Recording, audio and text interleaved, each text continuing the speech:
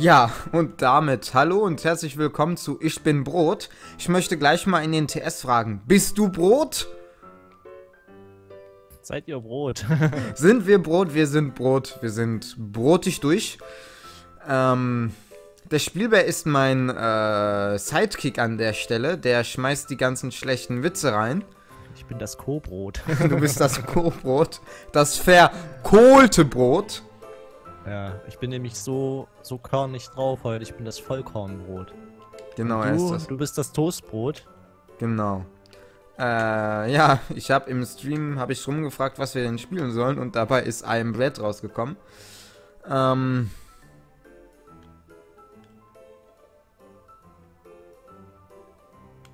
So, und äh, wir wollen erstmal spielen. Hm. Wollen wir ins Tutorial? Äh, ich weiß nicht. Äh, bist du so ein schlechtes Brot, dass du ein Tutorial brauchst? ich würde sagen, wir gucken es uns einfach mal an. I am loading, auch ganz schön. Bewegen. Übung macht den Meister. Du kannst dich mit den Ecken des Brotes festhalten und dann mit der Maus äh, klicken und ziehen oder den Stick am Gamepad verwenden, um das Brot um die Ecke plumpsen zu lassen.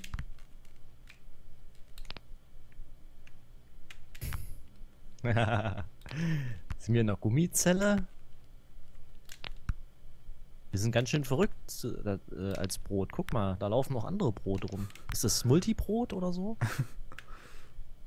Wahrscheinlich. Das, sind, das ist ein, das ist ein Leib, Multiplayer. Da ist. das ist der Multiplayer.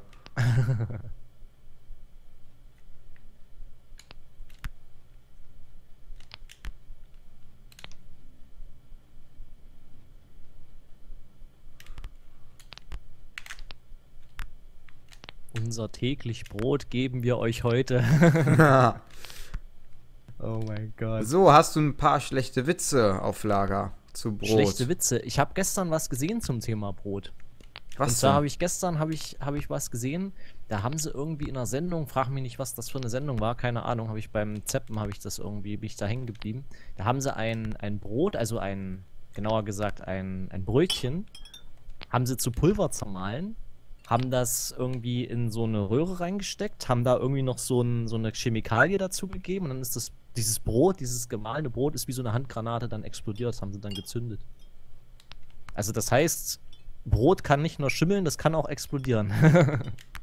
Die wollten halt irgendwie, keine Ahnung, zeigen, wie viel Energie in so einem einfachen Brot halt steckt. Irgendwie witzig, oder? Ja. Stell dir mal vor, wenn das, wenn es anders gekommen wäre, wäre diese Toastscheibe, die da rumkriecht, keine einfache Toastscheibe, sie wäre irgendwie ein explosives Gemisch. Ich sehe schon, du beißt dir da ganz schön einen ab gerade. Ja.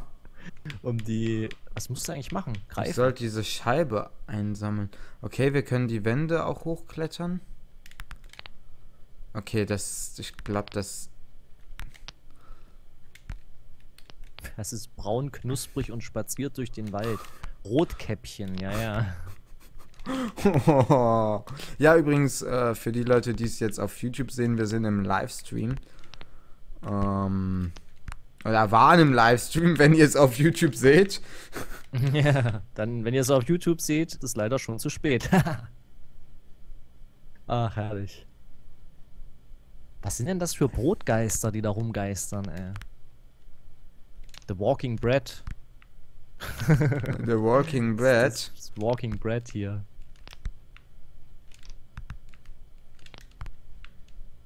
Das passt doch zu Erik, die Gummizelle, schreibt der Obelix.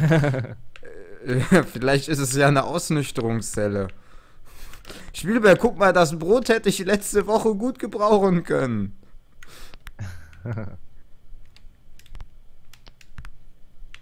Brot und Spiele. Das hat im doch im alten Rum, Rum schon gut funktioniert. Was da funktioniert hat, das funktioniert heute auch noch.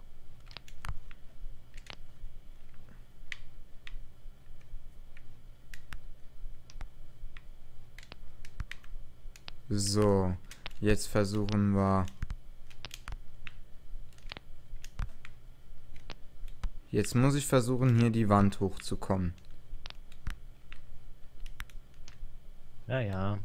Die Pfaffen und die Hunde verdienen ihr Brot mit dem Munde. Huch, jetzt habe ich den Stream zugemacht. das sollte ich lieber nicht machen. Dann sehe ich ja gar nicht mehr, was da Tolles passiert. Den Weg des Brotes muss ich doch mitverfolgen. Ja.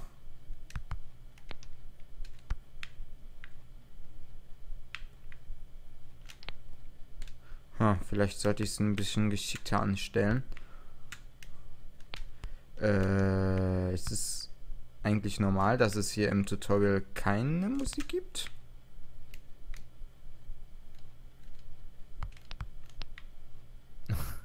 Wer erfand das so? Jesus, er brach das Brot und verteilte es unter den Armen. Oh Gott. Also ist Brot auch das Deo, okay. Ich werde mir dann morgen früh am besten Brot oder die Achselhöhlen schmieren und äh, Deo-Spray, ähm, keine Ahnung, zum Kaffee genießen. Oh, ich wäre fast oben gewesen. Oh.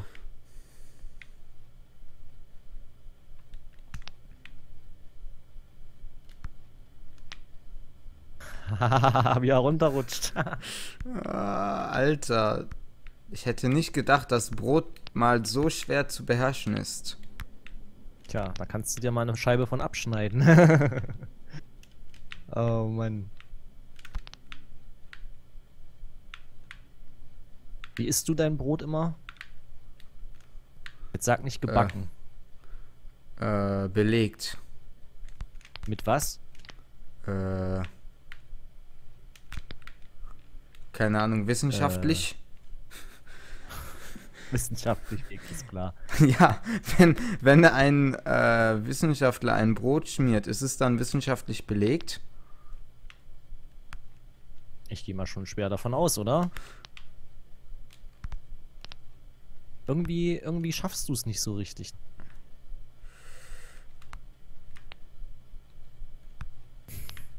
Es sieht schon ein bisschen armselig aus, wie dieses, dieses arme kleine Brot da versucht, sich da so hoch zu oppen an der Wand irgendwie.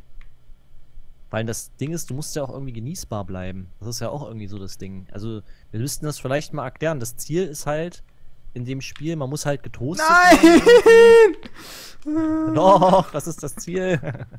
also das Ziel ist, toastet zu werden.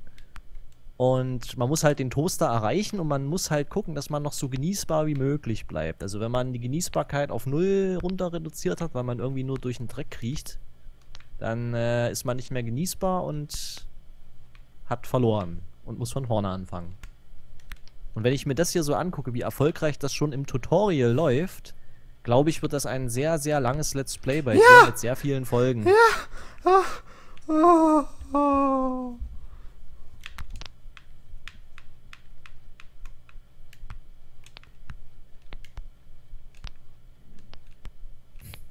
Los, komm, du wirst doch wohl das Tutorial schaffen. Ich Jetzt weiß nicht. die nächsten drei Wochen nur Wasser und Brot. Ähm.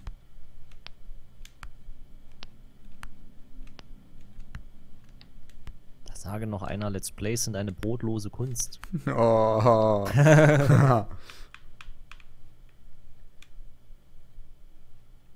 das ist ein Toaster. Ja.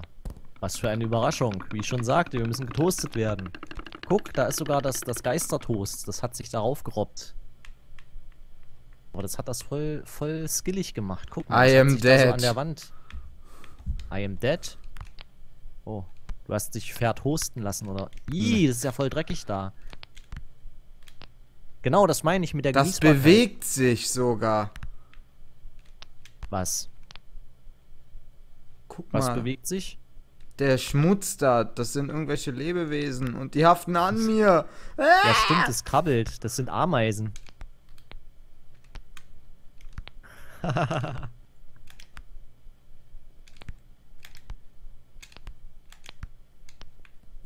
Los, komm. Oder bist du etwa Kunstbrot?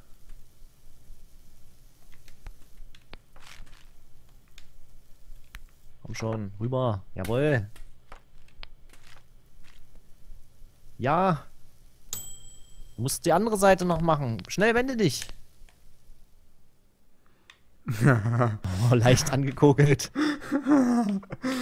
Gratulation, du hast das Tutorial abgeschlossen. Story beginnen. I am du loading. Weil du da echt auch gucken musst, dass du das Timing nicht verpennst mit den Seiten von dem Brot. Die Weil das Thera- Brot muss ja von beiden Seiten gut getoastet werden, ja. Herr, die Therapieschonne. Hier will man nicht nie mehr weg. Kundenname Herr Merton. Medizinische Akte. Bla bla bla. Adresse bla bla bla. Geburtsdatum 4.3.1948. Sitzungsanfang 10.00. Sitzungsende 11.03. Dauer in Minuten 63 Minuten.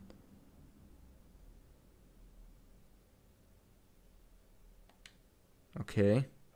Küche. Was, wir sind in Behandlung, ja? Oder waren in Behandlung. Das ist unser, unser, unsere äh, Freilassung sozusagen hier. Behandlungshinweise. Was ich jetzt erstmal Toast. Was ich erstmal probieren möchte, ne? Du möchtest was probieren? Jetzt dich buttern. Ja. Du bist schon, du hast schon 8% Genießbarkeit eingebüßt. Wie das denn? Du hast dich doch nur über den Tisch bewegt. Ist der Tisch so ja, dreckig? ich, nee, ich bin in die Fischgräte rein. Ach so. Natürlich eklig. Aber warum hat einer Fischgräten auf dem Tisch liegen? Oh, guck mal, du hast. du randalierst hier voll. Ah! Ah, i, i. Was klebt denn da? Was ist das denn? Aber das sind Gewürze, glaube ich. Das ist was Gutes. Das könnte schlimmer sein. Ich starte lieber neu. Nein, nein, nein, mach weiter. Nicht neu starten. Ich habe neu gestartet. Nein, warum? Warum tust du das? Kannst du jetzt nicht bei jeder Kleinigkeit hier neu starten? Was denn für ein Brot? Was ich für ein Brot bin. Ja, was bist du denn Uh, für ein jetzt habe ich ey? Marmelade an mir.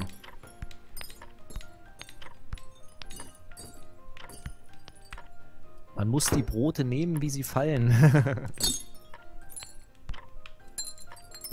Was für eine Art Brot isst du am liebsten? Äh. Tom und das Erdbeermarmeladebrot mit Honig. Oh, du bist wirklich mal mit Marmelade eingekleistert. Wie geil ist das denn? Das sieht man ja sogar. Also ich esse äh, Vollkorntoast am liebsten. Vollkorntoast. Mhm. Also aktuell. Aber Sauerteigbrot ist auch geil. Ja, boah, Kommt halt immer auch drauf an, was man dann, was man dann da drauf macht. Oh. Was man dann drauf schmiert auf das Brot. So, jetzt bin ich von beiden Seiten Erdbeermarmelade. Aber heißt das nicht eigentlich auch, dass der Dreck noch besser an dir haftet dann? Weil du bist ja quasi jetzt mit Zucker eingerieben, mit klebrigen. Das heißt, wenn du jetzt irgendwie durch Dreck läufst, bist du ja noch ungenießbarer dann hinterher. Bin ich das? Ist das so? Ich weiß nicht, also ist es nicht irgendwie, wäre das nicht logisch? Logisch durchaus. Da ist das Skateboard. ist das jetzt eigentlich der Brotlog? ne, den Brotlog, das ist ja das Tutorial gewesen, ne? Das war Ja, ja schon die erste Mission. das war der Epil... der Brotolog. Oh. Was ist das denn? Ein Longboard? Natürlich. Ist ja, ist ja voll aktuell hier. voll modern. Aber irgendwie, irgendwas machst du falsch. Du boardest gerade nach hinten. Kannst du etwa nicht Longboard fahren? Nein. Aber ich bin schon mal Long- auf dem Longboard. Tresen. Weil da sind Ameisen. Igittigit. Überall sind hier Ameisen. Wie komme ich denn da rüber? Ich glaube, ich Über die muss... Äpfel. Die Äpfel, da sind keine Ameisen. Obwohl, naja doch, so links bei den. Ich, ich sehe das halt so ein bisschen niedrig aufgelöst. Damit der Stream bei mir flüssig läuft, habe ich das mal alles auf Medium gestellt. Dadurch sehe ich natürlich so kleine Details nicht. Also die Ameisen sehe ich gerade nur sehr schlecht. Aber du könntest theoretisch dich von Teller zu Teller auch hangeln. Oh. so viel zu dem Thema. Hamburger schreibt, Spielbär in deinem Forest-Intro auf dem Flugzeug steht doch Spiel... BR. Nee, da steht eigentlich Spiel BR. Spiel BR. Spiel BR? Ja. Oh. also über den Boden gehe ich lieber nicht. Außerdem, wer ist eigentlich Spielbär? Ich bin doch Spielbrot. Ja, nein, wir sind doch Brotbär. Also ja, Brotbär, genau. Das, das hier ist ähm, Brotbär, das ist mein Co-Moderator. Und ich bin Brot 1LP.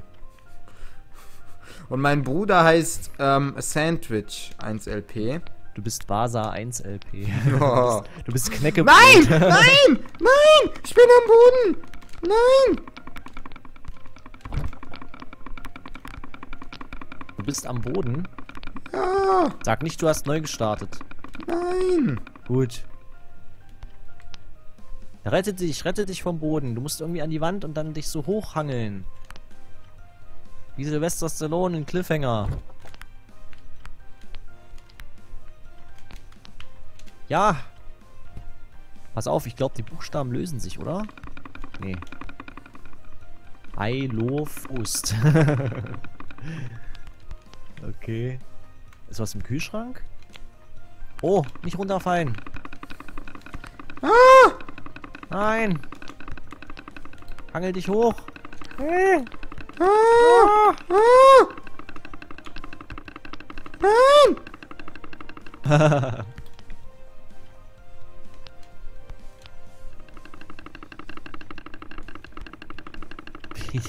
das Brot total panisch hin und her wackelt über dem dreckigen Boden. So gut.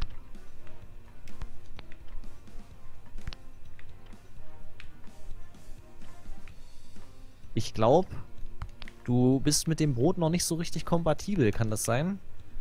Ich bin vor allem mit üben. Controller nicht ganz so kompatibel. Ach, du spielst mit Controller? Ja.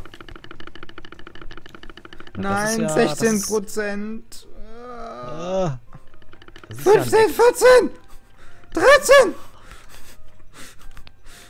Vor allem das Geile ist, Brot fällt ja sowieso immer auf die Marmeladenseite. Und ich habe gleich zwei dass, davon. Dass du gleich zwei Marmeladenseiten hast, ja.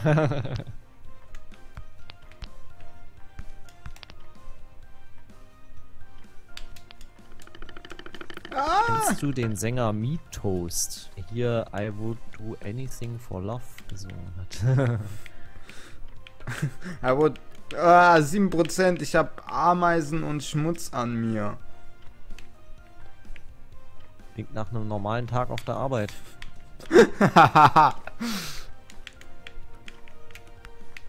Sieben Prozent und ich habe Ameisen und Schmutz an mir. Aber da ist irgendwie noch was anderes an dir. Irgendwie auch so Schimmel oder sowas. Also zumindest an der Unterseite. Also naja, was ist eigentlich die Unterseite vom Brot? Von diesem Brot. Vergewaltigst du gerade die Schüssel? Ja, ich versuche da irgendwie wieder rauszukommen. Also momentan hast du da gerade so eine Art Joker-Position. Ja, also das sieht eigentlich gar nicht so schlecht aus, wo du da gerade liegst. Rundum ist nur Gefahr. Unter 50% würde ich die Finger von lassen, schreibt der Razer. Was? Was erst unter 50%? Du, ganz ehrlich. Ey, wenn das Ding runterfällt, würde ich schon die Finger von lassen. Wenn ich mir so den Fußboden angucke und das alles. Ich weiß ja nicht, du. Ich meine, da laufen Ameisen rum. Vielleicht ist da auch irgendwo einer gestorben in der Wohnung, man weiß es nicht. Also es gibt einen Team Fortress 2 Level. Ja, was wir wahrscheinlich in dieser Folge nicht mehr sehen werden. Nein, denn Wenn ich mir angucke, wie lange das dauert.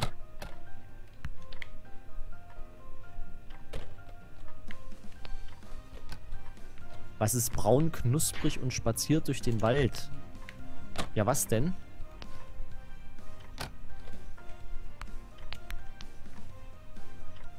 Was denn, Hamburger?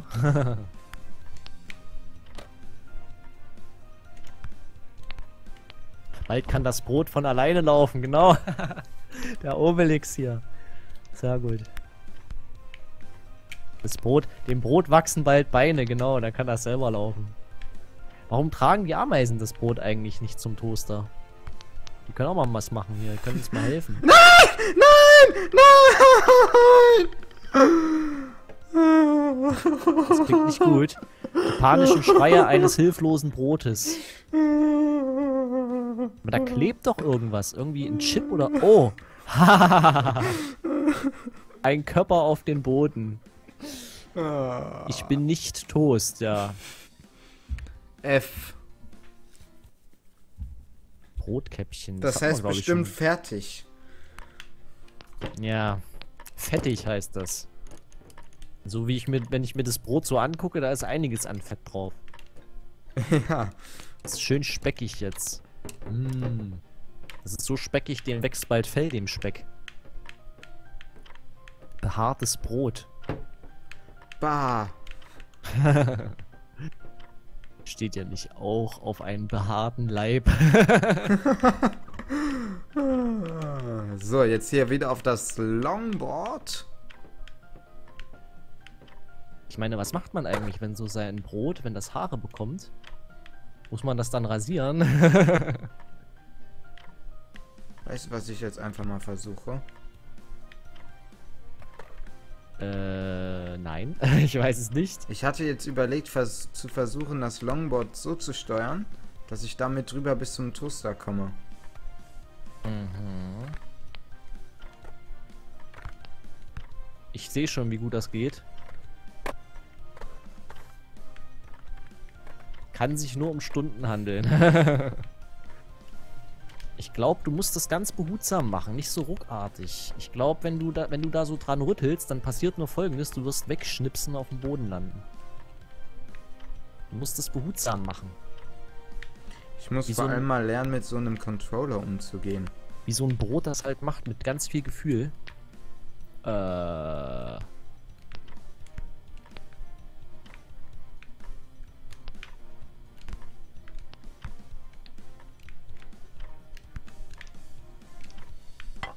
Warum fällt das Brot immer auf die Marmeladenseite? Wäre eine gute Quizfrage. Naja, im Prinzip... Boah, boah, halt dich fest. Zieh dich hoch. Gib mir deine Hand. Ich schaffe es nicht. Jawohl. Ah, nein. Was machst du? Warum? Ach du Scheiße. Alter. Aber irgendwie ist das Brot magnetisch. Der Teller, der hat gerade so ein bisschen am Brot dran geklebt. Ja, man kann so Sachen greifen. Da hinten ist es, das Objekt unserer Begierde. Warum fällt das Brot immer auf die Marmeladenseite? Ja, warum? Also ich würde sagen, das liegt daran, dass die Wahrscheinlichkeit ja 50% beträgt, dass es auf eine Seite fällt. Das ist, glaube ich, wie mit der, wie mit der Münze. Äh, wenn man eine Münze wirft, so. Da ist ja die Wahrscheinlichkeit eigentlich die gleiche. Und weil das halt irgendwie, keine Ahnung, nicht allzu oft passiert, oder vielleicht ist es das Gewicht. Vielleicht ist es das Gewicht, weil die Marmeladenseite ist ja schwerer, weil da ist ja auch noch Butter drauf. Das heißt, so schwerkraftmäßig. Oder das ist so, das ist wie bei Katzen. Das ist so ein Reflex von dem Brot. ja, das, deswegen das, kann das, sich das hier auch nämlich bewegen. Die Katzen, die Katzen ähm, drehen sich ja auch immer so, wenn sie fallen, dass sie immer auf, ihre, auf ihren Füßen landen, ja. Und ähm, beim Brot ist es vielleicht genauso. Das Brot hat vielleicht so einen Reflex angeboren, ja, dass es halt sich dreht, wenn es fällt. Und dann fällt es halt immer weich. Weil wenn es ja auf die andere Seite fallen würde, würde es ja krümeln. Und das will ja das Brot nicht. Das Brot will ja nicht krümeln. Das wäre ja Selbstverstümmelung. Deshalb versucht das Brot immer auf die Marmeladenseite zu fallen. Ich glaube, das ist es. Ich glaube, ich habe das Geheimnis gelüftet. Das Geheimnis der Marmeladenseite. Das Geheimnis der Marmeladenseite. oh, was sind das da eigentlich drin? Sollen das Cornflakes sein? Dann haben die aber noch ziemlich wenig. Selbstverkrümelung, genau. genau, Selbst der Garm hat es auf den Kopf getroffen. Selbstverkrümelung. Also, weißt du, was jetzt mal gut wäre, wenn du dich jetzt mal in diesen Toaster verkrümeln könntest irgendwie. So langsam, aber sicher. Bevor die Ameisen Bock auf dich kriegen.